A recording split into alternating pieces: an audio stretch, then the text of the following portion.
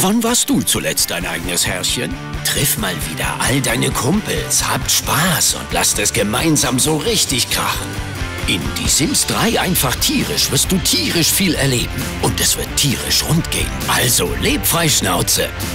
Die Sims 3 einfach tierisch bei allen guten Züchtern.